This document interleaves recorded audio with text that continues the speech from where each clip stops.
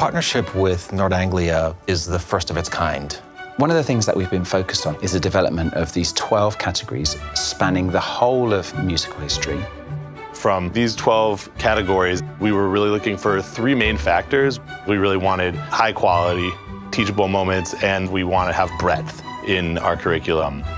In the curriculum, we're using keyboard to teach music fundamentals. Using keyboards in such a program encourages concrete and immediate comprehension of skills that can at times feel rather abstract. One part of the collaboration is the use of Juilliard teaching artists coming into all of our schools to work with our teachers and work directly with our students.